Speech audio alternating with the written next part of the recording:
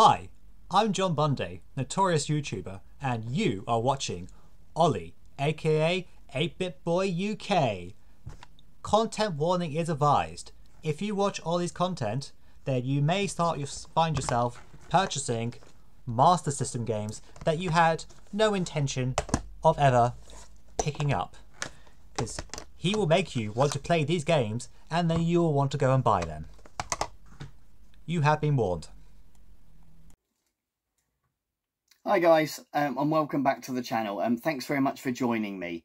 So I've been talking through my collection quite a bit recently, and I've done some videos trying to give you guys a bit of an idea of where you need to be at if you want to get full sets, all that sort of stuff. Um, hopefully that's useful. But what I wanted to also um, talk about is um, for those people that are on the journey to a full set, or maybe if you're not, there are some really cool subsets that you can pick up either along the way or if you're not really if you don't have the appetite to go for a full set there are some really awesome subsets within the master system that are a bit more bite-sized.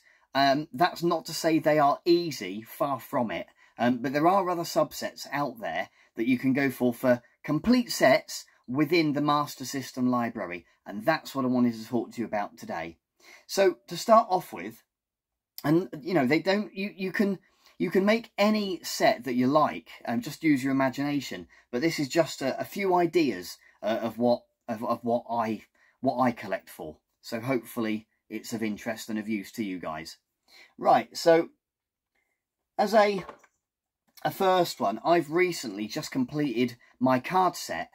Um this is Bank Panic. This is the last one that I got, so I now have a complete PAL set of Sega cards. That doesn't include Hang On, although, of course, Hang On did come in as the pack-in title for a lot of Master System consoles back in the day, but it was only released um, with the uh, with the case and the artwork and whatnot um, in, I think, Australia. So you don't need it for the full set that I'm going for. Anyway, um, this is the last one that I have to complete my set. I know that my buddy Clint did a video just about these, so I will try to pop a link in the description below to his channel. Um, go and check out his video if you want to look at more about these. Um, the next one, and again, I'll, I'll, I'll mention Clint as because I think he's done similar. So I, I, again, I've got I've got all of the Kixx variants as well. You probably see them up on the shelf there, in fact. Um, there are five of these, and they're not easy to find at all, um, but they are quite a nice subset to at least, if you're going towards a full PAL set, so you don't go stark raving mad along the way, to feel that you've completed and finished something off as you're going along. But even if you're not, this is a really nice set to collect for. Now, the, now the Kixx uh, variants, they were actually a budget release, uh, back in the day, and you could uh, you could pick these up a little bit on the cheap after the game had been out for a little while. They are quite tricky to pick up, and some of them do fetch a pretty penny on eBay. But if at all possible, I'd try and look, keep your eyes peeled for these out in the wild. I remember my mate Andy picked up um, the Winter Olympics, which is this one. Um, and he picked it up uh, just on, a website, a retro game website, for a fiver two or three years ago, I think. So there's definitely some bargains out there. You've just got to keep your eyes peeled. But a really nice subset to go for. And it doesn't take up a lot of space either with just five of them in. So you've got a Brazilian subset as well. And within within that, there are other subsets. So you could just go for the blue spines like this one. Um, I didn't pay too much for this, but it's not a hugely cheap game, unfortunately. And my buddy Kev uh, is going for a full Tectoy set. I think he's only got a handful left, maybe five or six left, and then he's going to be there. You know, so not a cheap one, but a really nice subset to go for within the Master System world set and the Master System library. So this is my copy here of Street Fighter 2. A lot of people didn't realise that this came out on the Master System, but it definitely did, and it's a fantastic um, game. Uh, a lot of people, it, of course it doesn't compare to the um, Mega Drive or the Super Nintendo versions. But yeah, it's it's a really nice one to have actually in the collection, and I think the music um, and the the gameplay, if you can get your head around playing with just two buttons, I think it actually plays pretty well. Not for everybody though. Um, I'm not really here to talk about the gameplay, just the sets themselves. Um, within um, Brazil as well, there's also cardboard games, and there were about 80 of those that were released uh, as well. So you could go for the cardboard set if you wanted to. But I definitely recommend getting yourself a middleman. You're going to need somebody over in Brazil that can help you collect and get these sent out to you. So just do your homework. So one of my more recent acquisitions, this is um, Sapo Xulé. I did a video uh, just uh, the other week uh, with regards to collecting two of the Portuguese purples as we refer to them over here. And we call them that because of the bottom of the uh, and the spine here, the bottom of the case and the spine here. Um, again, these were a budget release, really, in Portugal exclusively. There are 15 of these in total. Now, be warned, one or two of them are extremely rare. They really are very, very scarce, and they command extremely high prices. So not for the faint-hearted, these ones. Um, but yeah, if you want to go for a full set of these, there are 15. Um, some of them are cheaper than others, of course. I had to pay a pretty penny to get the two that I wanted. But really nice to add to the collection if you get the chance. Um, just be mindful that, like with the Brazilian as well, um, the it comes with the manual there, but that is in Portuguese, obviously. So um, just just be mindful of that. But a really nice subset to go for if you wanted to. So another subset that you could go for would be the US set. Um, it's slightly smaller than the PAL set because Master System didn't quite catch on quite as much when it was going, you know, straight like toe to toe with Nintendo.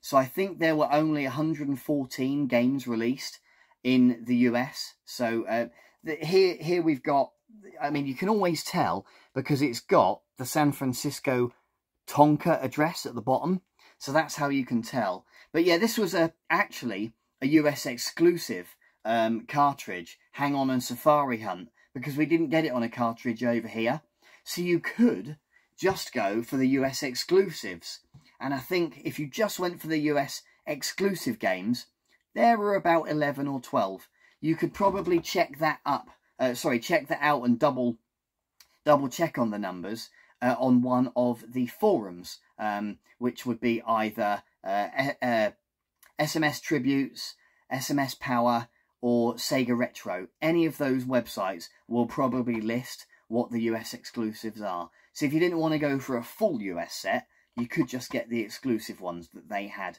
that we never got in the UK or Europe. So another one of the sets that I absolutely love, but I probably won't go for a full set myself, is the Classics. Now you can see this one here, I got this one a few years ago, and I got it nice and cheap um, from a shop up the road that I I've talked about before up in Morecambe.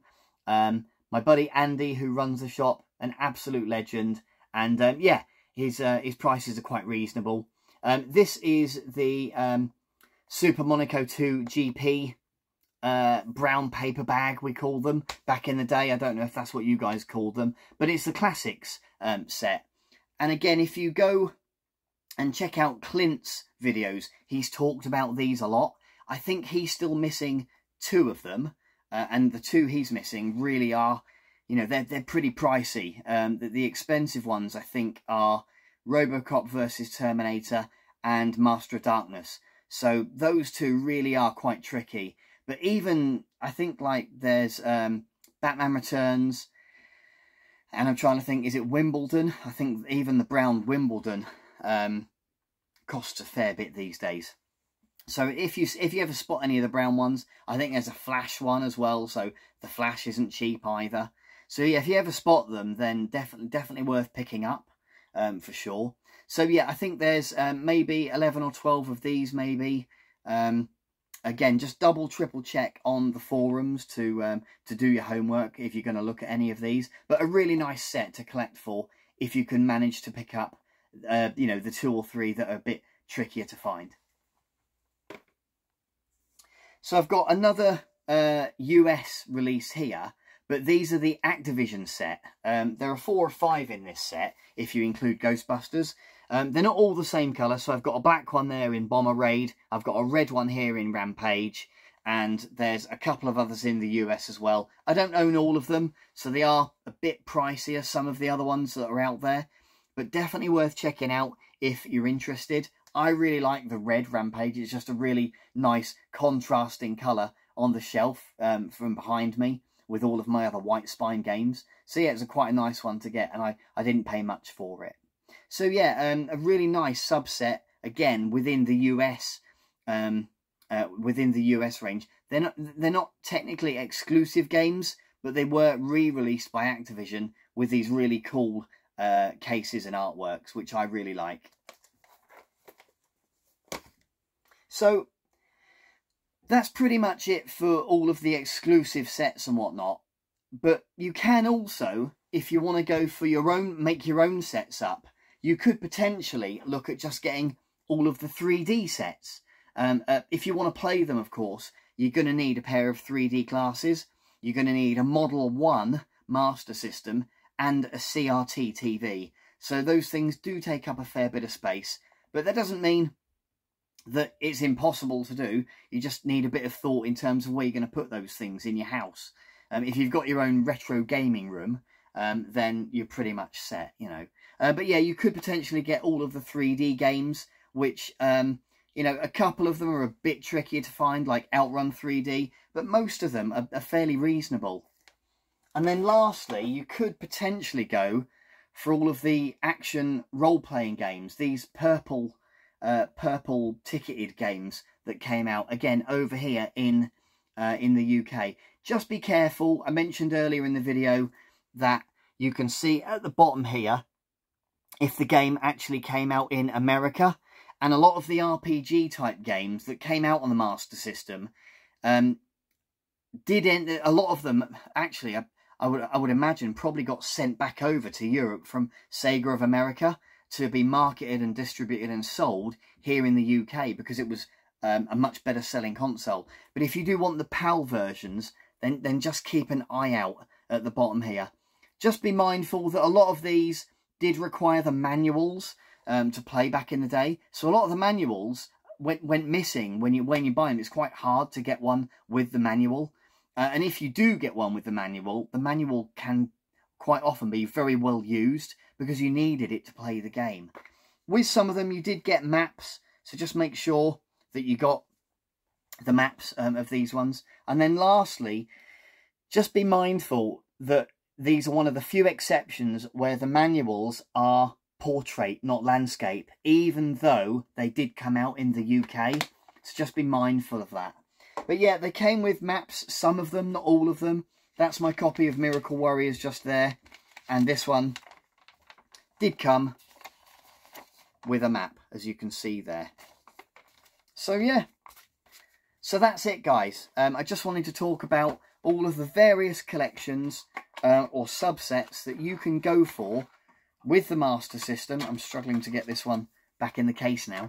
but yeah, uh, there's plenty to go at um, that you can pick up along your journey, along your way to picking up a full set of um, PAL games. But even if you didn't want to do that, there are lots of other um, sets that you can complete uh, that make things a bit more manageable and a bit more bite-sized. I hope you found the video useful. Uh, I really enjoy making these videos. So um, do me a massive favour and hit the thumbs up uh, button on um, below the video. That would be a massive help to me and I really appreciate you watching. Thank you so much. Oh, yeah. Ah, there he is. Oh, Trigger. Here. You know my brother, don't you, eh? Yeah, of course I do. How you going, Dave? Sorry I'm late, Del Boy. I had to pop round my sister's to arrange an alibi for next Thursday. Joyce, Del. Mm. Del. What? Why'd they call him Trigger? Does he carry a gun? No, it's because he looks like a horse.